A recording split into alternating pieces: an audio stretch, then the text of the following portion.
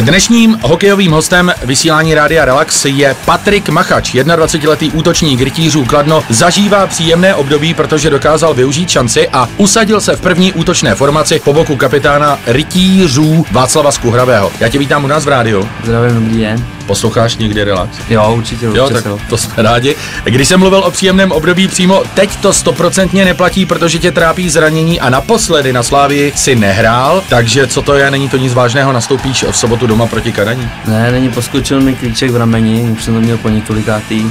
Doktor mi vlastně řekl, že to bude nějak na dva týdny, ale uvidím po týdnu to zkusím, nicméně proti Kadaní ještě nenastoupím. A proti Kanadě?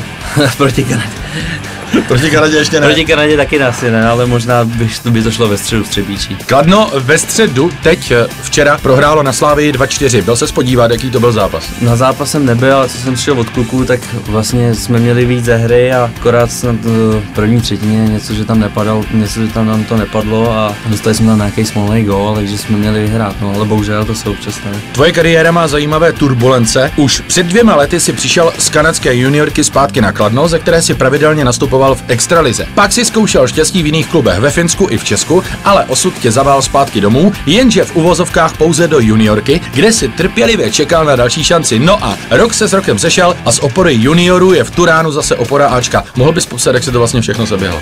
tak to je docela dlouhý příběh, to bychom tady asi byli na díl, ale tak nějak ve zkratce vlastně po té extraligové sezóně, když jsme vlastně spadli, tak mi byla nabídnuta smlouva a potom já jsem si vlastně hledal jiný, jiný angažma a mezi tím zase snad myslím, že Kladno se ozvalo se na zpátek, ale to už jsem měl něco domluveného, tak jsem řekl, že to zkusím teda jinde a to se mi nepovedlo, tak jsem se vrátil do kladenské juniorky a čekal jsem na další šance, aby mi dali tady nakladně, což kterou jsem hodně rád a konec to vyšlo. No. A dostal jsi tu nejlepší šanci. Samozřejmě, teď je to super. Zpátky k letošní sezóně do první útočné formace se přesunul ve druhé polovině listopadu a pak už to šlo ráz na ráz. Střelil si hetrik, dával důležité góly, fanoušci tě dokonce ve velké konkurenci zvolili hráče měsíce. Tak eh, teď se cítíš dobře, kromě toho ramene. Jo, teď když nevím to rameno, to zranění, což je samozřejmě nepříjemný, tak jsem byl, tak jsem byl hodně spokojený. Vlastně je to něco úžasného zahrát si v první léně a ještě s tak dobrýma spoluhráčem a dostalo tolik prostoru na ledě. A my si teďka zahrajeme písničku a pak eh, tady mám další hromadu otázek. Co posloucháš? Mně je to vlastně jedno, ale asi nejvíc Majka Spirita.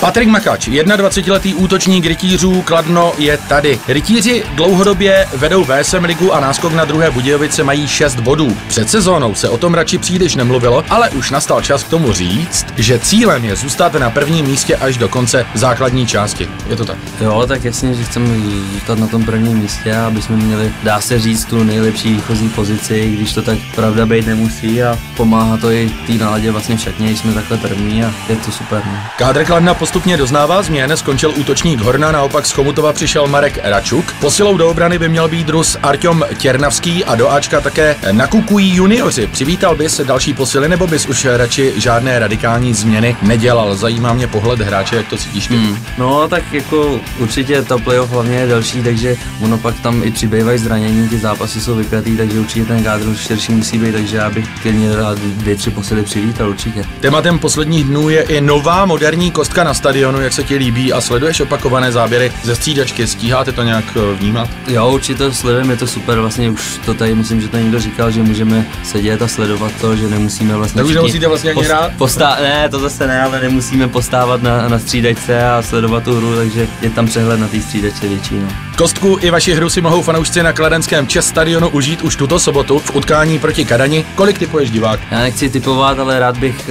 rád bych, kdyby přišly ty tři tisícovky, no, je to hrozně znát a je to super, když je to, jsou, ty, atmosféra. jsou ty ochozy zaplněný. No. Mimochodem Kadaň začíná vystupovat s novým logem a názvem Trhači Kadaň. Co na to říkáš? Rytíři versus trhači. To zní skoro jako z večerníčku nebo z nějakého komiksu.